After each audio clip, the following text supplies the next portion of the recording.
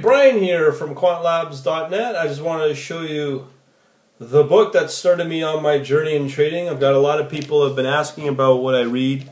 Um, as you know, I do more quant uh, based analysis or trying to get into that.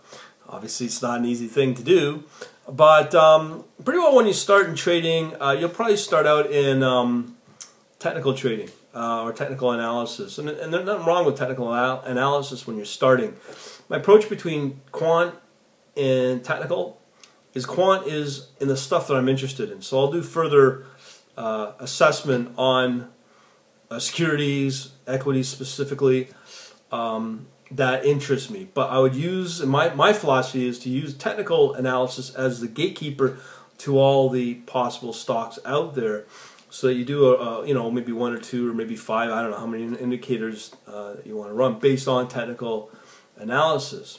But this is the book that got me started on it all. Um, now, this is an old book, but fundamentally it's still pretty sound. I just checked uh, Amazon and it's still getting a pretty uh, respectable rating. Um, obviously called Technical Analysis of the Financial Markets by John J. Murphy. Um, phenomenal book. He goes in a great detail uh, in the different types of analysis uh, techniques using technical as well as uh, different uh, indicators. Um, I'm only bringing this up now as I'm moving into digging into uh, different types of strategies. Um, and specific, specifically that I'm now moving into Simulink uh, strategy building or model um, model development.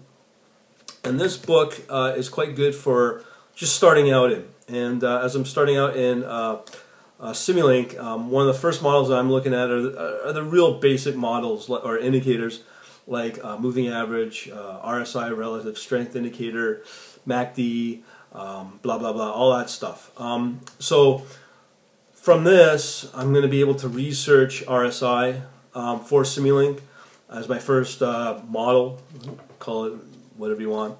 Um, and uh, this is a really good book to refer to and just understand how the general flow of the markets work. It's specifically good for obviously equities stocks. So if you're new to it, this is a definite book I would recommend. Um, without a doubt, you can get it on Amazon. Um, and uh, I don't work for the guy. I don't work for the publishing company and so on and so forth. Uh, he's been around, so hopefully I'll help you out. Talk to you later.